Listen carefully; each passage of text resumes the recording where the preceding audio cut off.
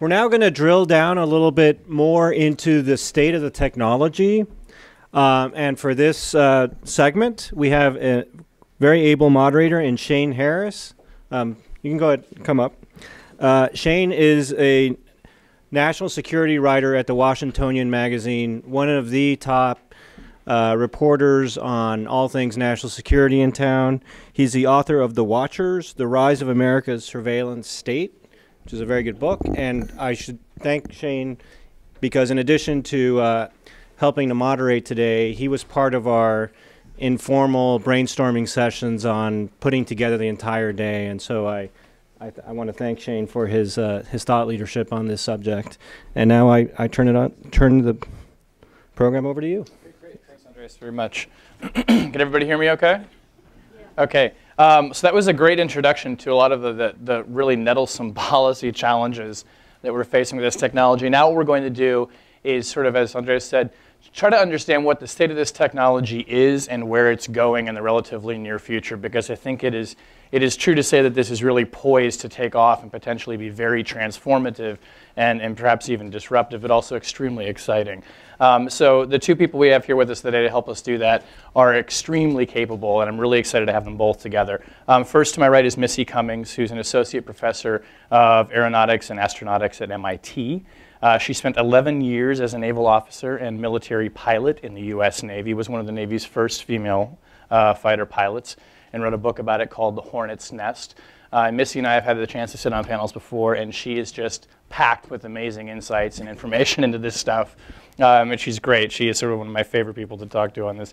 And then Michael Toscano, who represents just the the tremendously diverse and growing side of the, I guess it's fair to say, the commercial application, the potential uh, business uses of this as the president and CEO of the Association for Unmanned Vehicle Systems International, which includes government agencies and members as well, not just corporations. And previously, he served as program manager for research and development for nuclear, nuclear security in the Defense Department. So he brings a level of governmental insight uh, to this as well. Um, so, so the first question I want to start with is, is ask both of you to kind of put on your, you know, your, take out your crystal ball here. And Missy, I want to start with you. And if you were looking out at the next five to 10 years of the landscape domestically where drones might be used, what do you see as the probably going to happen uh, applications of this technology? And what are some of the sort of maybe more pie in the sky that might happen given the right circumstances in the next five to 10 years? What does, what, do, what, do the what does America look like in a, in a world of these? Well, what's happening right now, it's kind of a quiet revolution. Uh, drones are revolutionizing the agriculture industry. This is an industry where we just can't get enough people to do the jobs that we need done, and farmers desperately need the technology both for health and crop surveillance, uh, being able to you know see what's happening with your uh, the tractors in the field who will also become robots. Very, you know, John Deere is, has an amazing set of robotic tractors. So this is a community that absolutely needs it for the bottom line. I think the next big revolution that you're going to see is going to be in the cargo industry.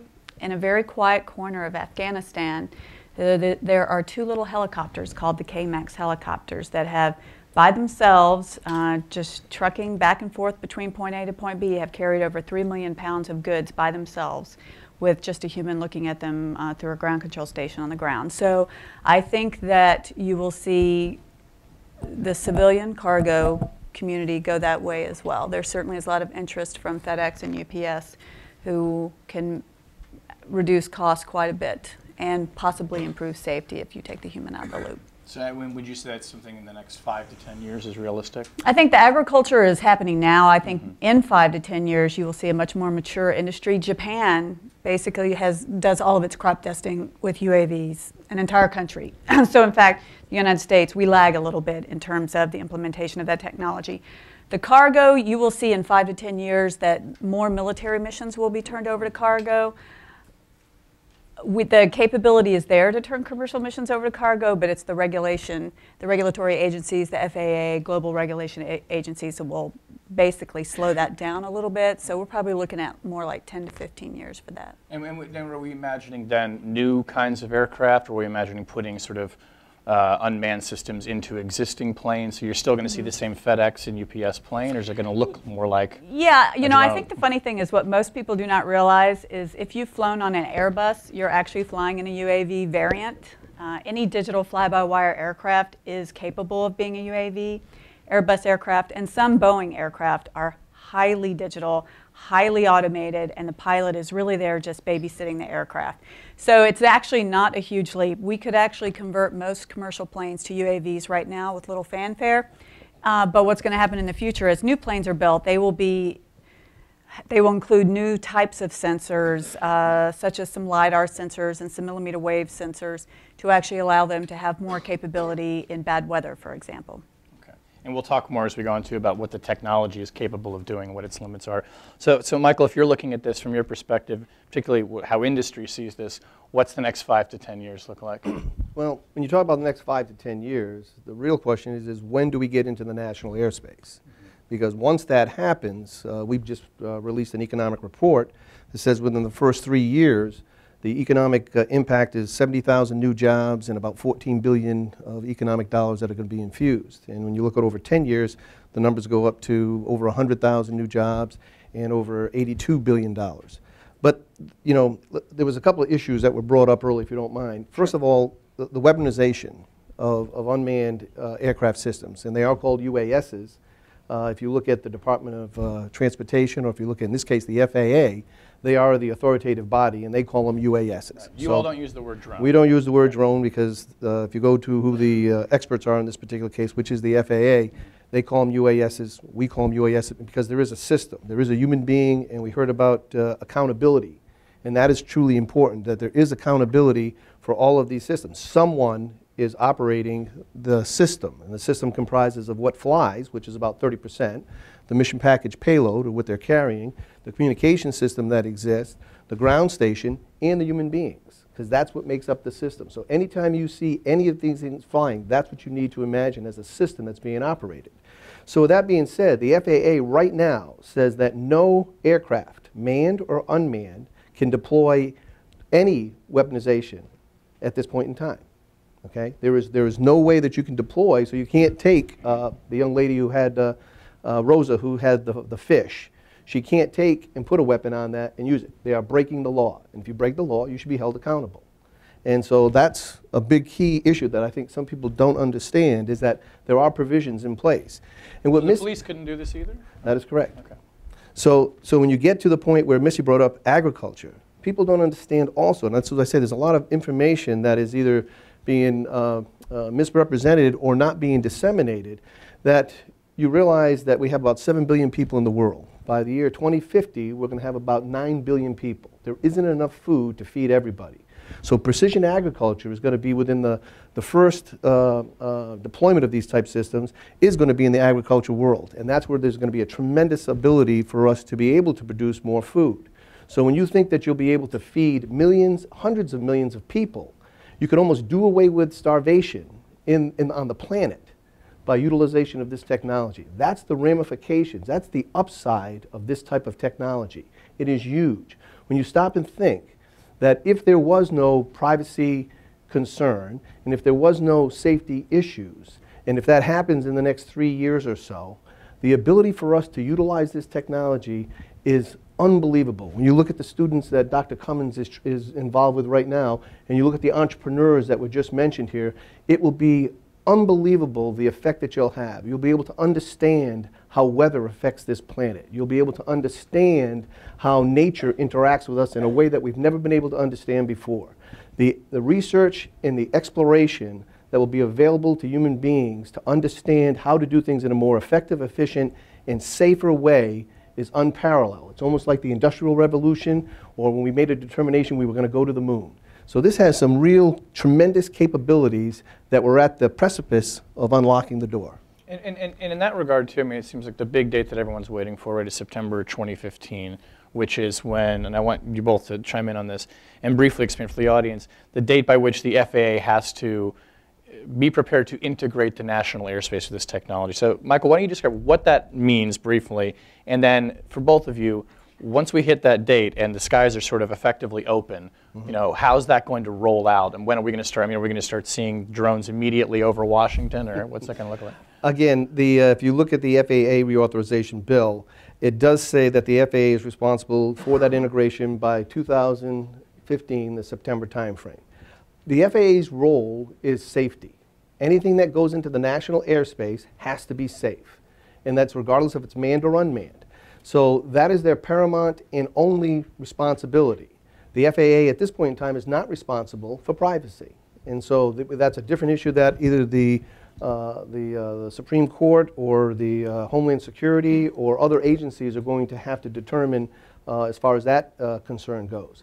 But the FAA is right now identifying six test sites, and those sites will be utilized to assure that we have safety in anything that goes into the national airspace. So once we achieve that, then you'll be able to understand that it's okay to fly these things and take all of the advantages that uh, I highlighted a little bit So they're going to be looking at this and saying, you know, setting ceiling caps or saying who can go where? I mean, Yes, what? but I think it's worth noting that this is only for small UAVs. Mm-hmm. This is not for integrating large UAVs on the scale that we're talking about for commercial aviation, particularly cargo.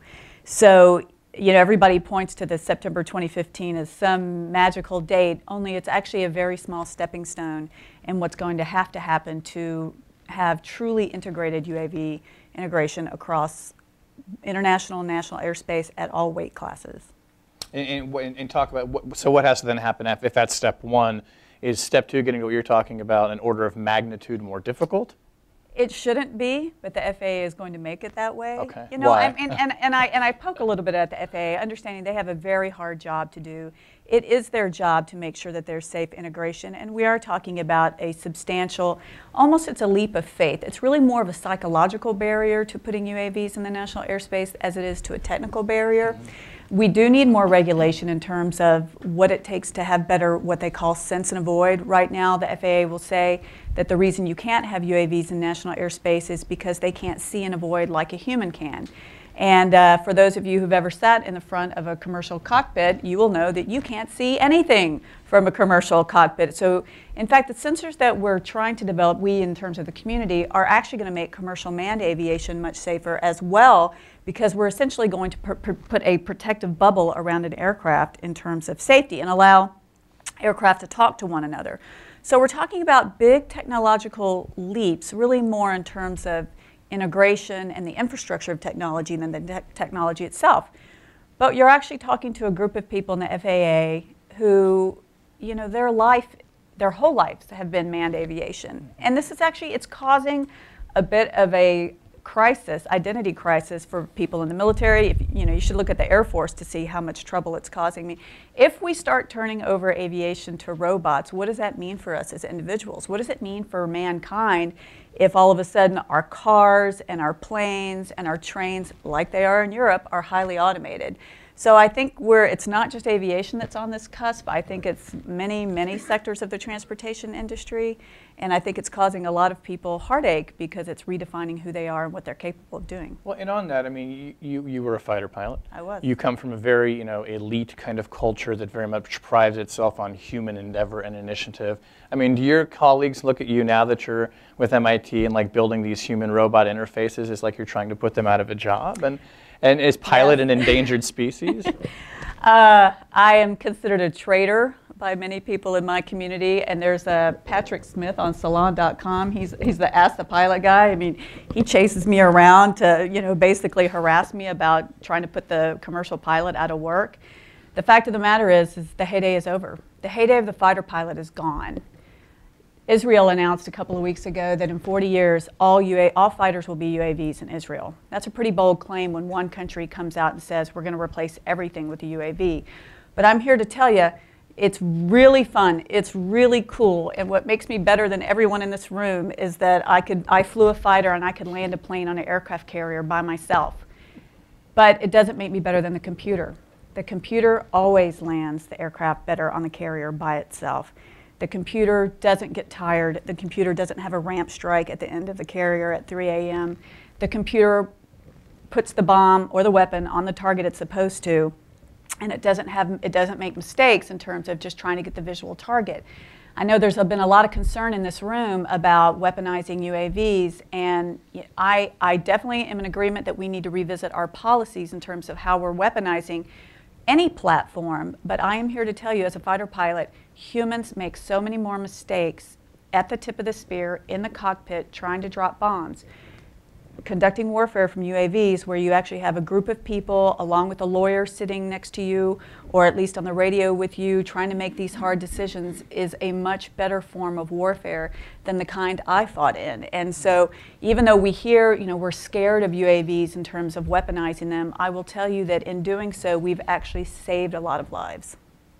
Um, I want to come back to some of these issues too that you bring up about, you know, humans in the loop. I think what we're starting to touch on. But first, Michael, I want to ask you something on taking again this, you know, presumptive date of September 2015 mm-hmm. is kind of when you know we're off to the races. Maybe you know that's stretching it a bit, but give us a sense of how potentially big the commercial industry for this is. Because I mean correct me if I'm wrong but you know right now there's you were specifically prohibited from using a drone for profit for any kind of commercial purpose. Correct. and I think the you know the, the, the, the general sense is that there is sort of a whole industry kind of in the wings gearing up and waiting to go.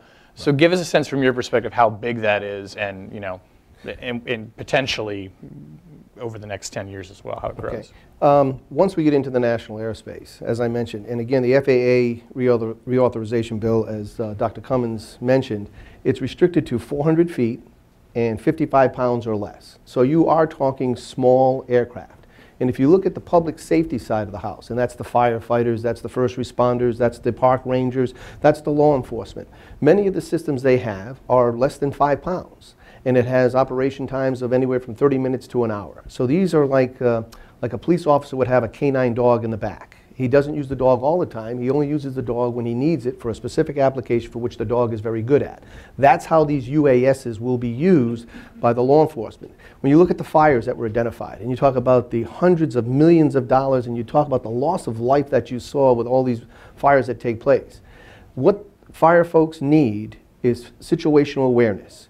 If you look at any devastation that takes place, whether it's uh, Mother Nature or whether it's mankind uh, uh, uh created, the first thing that the first responders need is good information to make good, good decisions. And that will save the lives of the people that they're there to protect as well as their own lives. So this is what this technology brings to bear. So when you talk about the 2015 timeframe, if you look at just agriculture alone, which again, 80% of all of the, the value that you'll get is going to be on the agriculture side and on the public safety side.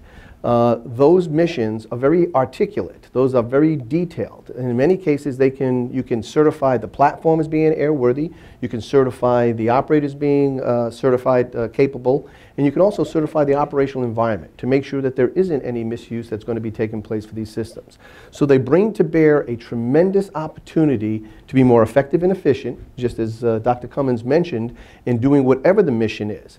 The men and women that use these systems know how to do their job better than anyone else. What you're giving them is a tool that extends their eyes, their ears, and their hands in order to do that job in a more effective manner. And that's a tremendous capability. So those are some examples too of you know a sort of large corporate scale kind of implementation, public safety. You know, what about sort of some of the more the individual, the entrepreneurial side of it? I mean, the gentleman who's here from the, the drone user group in DC. I mean, we live in Washington where there are bike messengers everywhere. Right. Right are, are they going to be, are we going to start seeing people delivering packages from office to office with drones? You, uh, you have hit upon a, an excellent uh, point is that the entrepreneur and ingeniousness that exists, and it's not just here, it's across the world, once this is allowed to take advantage of, is going to be eye-opening. There are applications that we haven't even thought about. You've heard of taco copters, where they're going to be able to deliver tacos to you, food to you. Well, there's places in the world that during the monsoon season, 85% of the roads are wiped out. Now you'll be able to deliver medicine from point A to point B during this time frame. So people that have pandemic diseases or where these things start, you'll be able to eliminate that in totality. You'll have people that'll, that'll use these things for, as he said, wedding pictures or putting uh, new roofs on, on houses. The application, we have not even scratched the surface. But if you allow these in, in, ingenious individuals to do this in a safe way and in the proper way, it will have phenomenal economic impact. I, uh, I come from a small town in the South, and uh, I love Rose's comment because my family would be the first family to whip out a shotgun as soon as, soon as one flew over my backyard.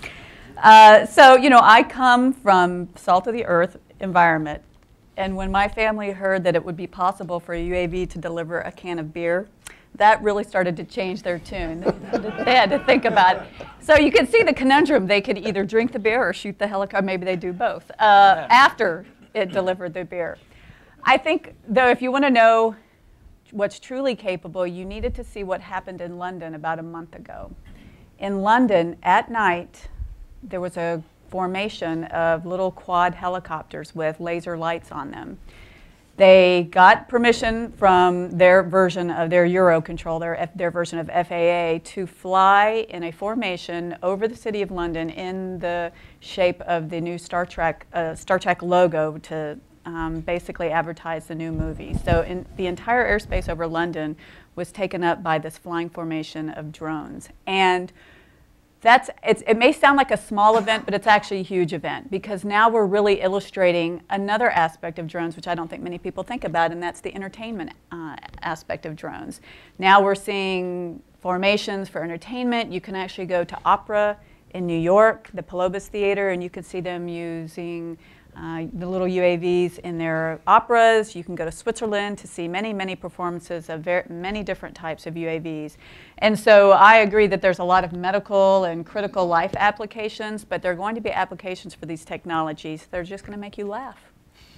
And I think too from the from, you know Hollywood and the film industry looks at these things too, and you can do amazing oh, shots yes, with drones. Yes, and there's yes. you know there's there's a there's a huge cost savings there and too. And I, I would like to point out, not only is there a cost savings, particularly for the film industry, but there's a huge safety advantage. Mm -hmm. Helicopter flying, and I'm working with the Navy right now on turning uh, helicopters into robotic helicopters. And, that, and that's important for a very good reason, and that's because the accident rate is very high. And there was recently a group of people in a filming helicopter that crashed because they got into a high wind, low altitude situation and couldn't control it. There is something in the human body called the neuromuscular lag, and that is the fact that when you see something, some event, it takes you about a half a second to respond to that. And even if you're the sharpest pilot, even you're the best fighter pilot on the planet, you are still married to that neuro, half second neuromuscular lag. Robots, robotic helicopters do not do that. That is why when we turn those missions over, particularly low and close to the ground under slow speed conditions, we can turn that over to the robot and safety will improve. And th this leads into sort of ne the next kind of phase or frontier of the technology. Everything we've been talking up to this point sort of suggests maybe having a human operator behind it, or we're talking about how people interact with these, these vehicles, these robotic vehicles. But what we're inevitably pushing towards, it seems, is sending out fleets of these robots to do the work on their own. And so we start getting into automation or potentially even autonomy. Um, I want to start with you to address this from the, the technical and the scientific perspective. Okay, what is an autonomous drone? What does that standard mean? So there's a debate in the community over what is automation and what is autonomy. I personally define it that autonomy is when a robot has to reason under a great deal of uncertainty. So the helicopter I'm working on with the Navy is an autonomous helicopter because it is called by a person using a smartphone to say, come get me, I'm in a, I need to be emergency evacuated or I need emergency supplies. The helicopter takes off by itself, navigates by itself, finds its own landing site by itself, and gets agreement from the person on the ground and then picks out its own landing site and lands, potentially even on, on the side of a mountain. This is, this is something that a human cannot do right now. So we consider this a highly autonomous vehicle because it's having to make a whole series of decisions under a great deal of uncertainty. UAVs today are automated. They're not autonomous. That is because we are heavily reliant on GPS we stick a set of coordinates. The computer says, I need to go from where I am to this set of coordinates. It's actually very much like when you use your navigation system in your car, only there's a control feedback loop that closes it and just makes the aircraft go in that direction. Only, you know, it sticks to the speed, it saves you on fuel. So uh, there's, it's just automation, there's no clear line. There's a slide into uncertainty, but you can actually think of autonomy as the amount of guessing that you need to do. The more guessing that you have to do in a situation, the more autonomy you're going to have to use. So is autonomy like effectively, you know, Skynet? I mean, it, the system is aware of itself and making decisions independently. I mean, Sort of. You know, I hate to say that because that's probably the number one question I get asked. Are we are we going into Skynet Are or we? the or the Matrix? Uh, well, I mean, there are elements of that. We are giving these systems the ability to reason on their own. So, for example, right now the Global Hawk, which is, which is a huge UAV, a reconnaissance UAV that's flown by the military, it has gone lost link. And lost link is always the biggest problem that we have when we're flying these systems remotely. What happens when you can't talk to it anymore? And so the Global Hawk has, on a few occasions, been able to successfully land itself after losing the link with the human. So you could argue that there's a tiny bit of autonomy in there because there was a little bit of uncertainty. Um, it's actually very rule based uh, and it's a very reliable system. So what we're going to have to do is understand that these systems are not always going to be in communication with us. And I will tell you, this is actually the biggest hurdle that the Google car is going to have to overcome as, we, as it tries to get entry onto the roads. Uh, that how do you resolve a lot of ambiguity in the system under high, and be highly reliable under various conditions? You know, we- we're talking domestic applications for this today, but you know the military struggles with this question as well. And you know, people in the military will say we would never create a drone that had the ability to autonomously select and fire on a target. Yet there is a lot of research going into automation or autonomy or something in between um, in that field with regards to, to lethal drones. I think probably in surveillance drones, it seems like that's an area where we feel a lot more comfortable maybe backing away and letting the, the, the machine do some of its own thinking. Um, but Michael, talk about how you know industry sees this too, and you know the, the potential for automation or even autonomy. I mean, is this are there companies that want to build systems that just don't require people to use them? Uh, again, and if I use the word semi-autonomous or automated, then people I think are a little bit more comfortable with that because they understand that there is a human being in the loop at some point in time, and there is accountability. So yes, the technology is mature enough that you can have aspects of these systems to do particular functions. But you always have the ability to enter back in. And as uh, Missy mentioned, if there is lost link or things don't go the way that you have them planned, you have backup information that says, okay, these are the rules that you follow. This is where you go to these coordinates, or this is how you would do it. So safety is paramount. You have to build safety into these systems because if you don't, you'll never use these systems. So when you look at it from safety standpoint first, and all the technology that is in, in, uh, inherent into the system to make sure that it operates in a safe manner, then you'll have the ability to say, okay, I understand that I am accountable for this, and I can let it do the A, B, C, and D. I'll, and if I get information back from it that tells me I want to redirect, then I have that, that ability to do so, or I'll let it keep continue on making the decisions that I know it's going to make because that's what we programmed into it to have it happen. Is there just a question of efficiency here too? That if we want, like, say we're imagining the cargo uh, example, like you know, 10 years from now, UPS and FedEx are are using UASs to deliver a lot of their cargo. Aren't isn't there aren't they naturally going to want to use as many few human controllers in the loop as possible? Or I mean, or do they look at this and say, no, no, it's going to be one controller per plane. It's just going to be there on the ground, not in the air. From a safety standpoint, the answer is absolutely yes. They want efficiency and effectiveness to make sure that, that it's safe, though. So if they can do it with only having one human being involved in the whole process, then that's what they'll go to. And as those functions are taking place, they will actually monitor that to make sure that their, their goods are being delivered, everything's going as scheduled. And again, these planes can take off, they can land on their own, they can do, uh, interact with other systems to uh, perform whatever the operation may be, either delivering cargo or in some cases picking up human beings that are uh, in uh, hazardous situations. Are, are, the members in your organization, or, you know, even those who aren't, and you have a great view of the technology of this, I mean, are there people who are developing things that you just look at and you say, that is never going to fly? I mean, that, that's no. intended. Yeah, no pun intended. But like where you look at it and you're just like, wow, that just sounds too ambitious, or, or too perilous, or too scary. I mean, give us a sense of like, you know, on the far end of the spectrum where it's really way out there. Um, as was mentioned before, for the most part, uh, most people are very responsible and understand uh, the boundaries of which uh, this technology can be utilized for. There are some, though, that will step over that edge or will go over that line. Uh, I don't know how you stop that. There's misuse with any technology we have. We now have what we call bullying laws because people have misused this technology that we've had around for 50 years called the internet now. When we first started 50 years with this technology, we had no envision that people would use it to bully other people. So you will have to adapt as this technology becomes more mainstream into our, our, our everyday life of to make sure that one, it is safe, and two, it is used uh, appropriately and and properly, and people are held accountable. That's what comes down to everything that we talk about, and it was mentioned by the representative, uh, uh, Gosner. You have to be, hold people accountable for whatever they do, whether it's driving your own car, you can't go 100 miles an hour drunk and, and crash into people. That's illegal to do. That doesn't mean we should ban cars. So the same thing here is with this technology. If you're going to utilize this technology for all of the tremendous opportunities that it brings to us, you have to do it in a responsible way. So on the theme of accountability, and you mentioned Google cars, or driverless cars, if you want to be agnostic about it. Um, what's going to happen when a driverless car you know, runs over the little girl on the way to her soccer game? I mean, where's the accountability going to come if this, if, if the future is driverless cars? How, how riff on that a little bit, and, and how we're going to sort of get comfortable with this idea of handing over this almost sacred American idea of driving It- to a It robot. interesting to me that of all the public outcry that's been going on for UAVs, but meanwhile, the Google car has kind of slipped in under the radar and is driving around now potentially in three states, Florida, Nevada, and California, with little oversight.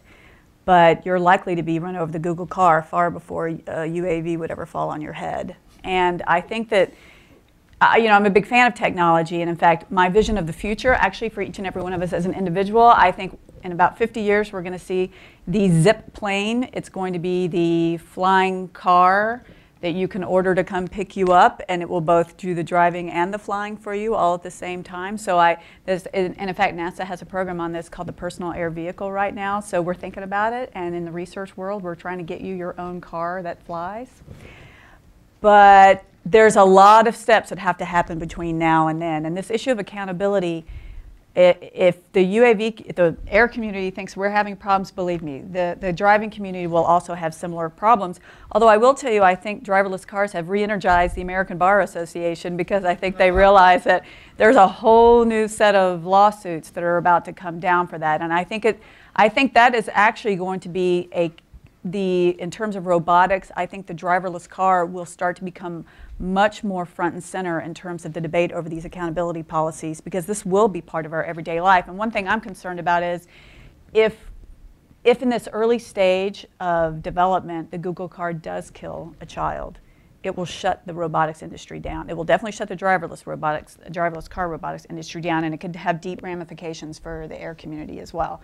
So I think the onus is upon us in terms of academia and industry and even in the regulation agencies to take this very seriously because what we don't want to do is take a big step forward and have a problem like that that could be catastrophic. Uh, I want you chime in on this too, but, but why why would it shut the whole robotics industry down? Why one accident sort of ruins the industry? If I may. Yeah. Um, first of all, understand why you would want to have a driverless car. Okay? Right now, today, the risk acceptance of a technology called, called the automobile is we have over 32,000 lives that are lost, 6.3 million accidents in the United States, and over $256 billion a year in costs associated with the medical cost and the damages associated with that 6.3 million accidents. The highest loss of life of people between the age of 16 and 19 is car accidents. And 75% of those are not either alcohol or drug induced. So this is those distracted drivers that we're talking about. Okay, you, many of them have uh, those belong to you or your grandkids. And I would contend to you that the distraction is not the texting. The distraction is the driving because all they've known all their life is texting. And when you tell them now they can't do it for an hour and a half because they have to drive from point A to point B, it drives them crazy. No pun intended there either. So this is a situation where we have an aging population, where we've got over 22 million uh, people that are over the age of 75 that need to get from point A to point B. You have a younger generation that's coming forward that has this uh, inability to focus for longer periods of times. And the purpose of having driverless cars is to get from point A to point B. Now you say, well, I'm never going to give up my 64 Mustang. Well, just like in the horsing industry, we didn't do away with horses once the cars came uh, involved 103 uh, years ago. As a matter of fact, it's a multi-billion dollar industry. We use them for pleasure, we use them for sports, we use them for a lot of things. But we don't use them to go to work every day back and forth. The same thing is going to true with driverless cars. When you look at the congestion that we have just in the United States alone, we lose $87 billion a year just sitting on highways. Your car sits idle more than 94% of the time. It's sitting parked. It doesn't do anything good. So when you look at the pollution that you're putting into the, into the environment, you look at the amount of uh, congestion that you have, there's a better way to get from point A to point B.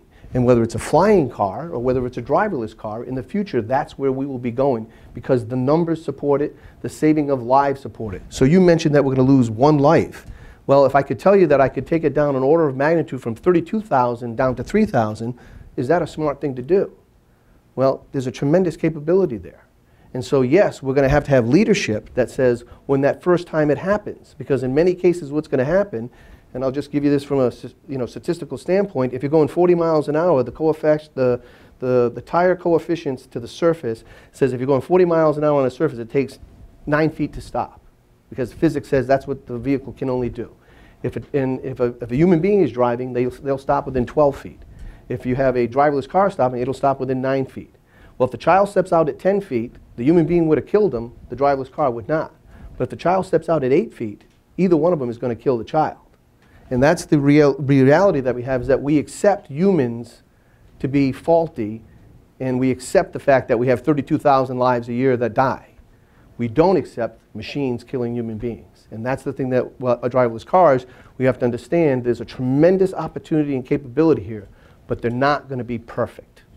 And Missy, just to, we'll wrap this up and then we'll take some questions through the audience. But Michael said we don't accept technology killing human beings, and so Well, I just when it happens, it, when it, this is why you know I mean that is the reality. The reality is is that no technology will ever be 100% perfect. But my emphasis was on these next few years, particularly in, in the development of technology.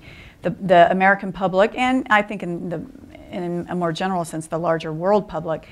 You know, We're, we're still at that place where we're not comfortable with machines taking over all of these aspects of our lives, and these accountability issues are still up for debate. And uh, I do think that if, in the next few years, if someone were killed by a driverless car, it would be a huge setback for the community because we're just not there yet in terms of our psychological acceptance of technology. And so we need to make sure that we are building as safe a systems with the correct infrastructure as possible. In another 20 years, this, we will, the transportation infrastructure of this country will look, will look very different. But we're still in a very it's a very hard place because we still got a lot of legacy gremlins driving around on the road, plus the high end cars that can park themselves and have active radar in terms of cruise control. So we're at this weird bimodal distribution of technologies, and the old has got to work with the new, and we're just not quite there yet. okay.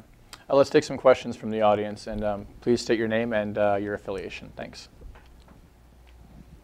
Philip Weber, Congressional Budget Office. Could you just explain the commercial prohibition a little bit more? Does it end September 2015? Uh, Does it continue? I presume all the, all the things you both mentioned, agriculture, cargo, there must be people interested in uh, making a buck there. Um, f- First of all, the FAA is responsible by the September 2015 date. Now, with the sequestration that took place, with the continuing resolutions, the FAA um, has not met most of the dates that have been established back in 2012. And I, uh, I look at the FAA, they've got, uh, Jim Williams is now the uh, UAS integrator, and they are working very closely with uh, the Department of Defense, along with DHS, along with the FCC, along with other entities to make sure that when they, we do get into the national airspace, they, the, these systems will be safe.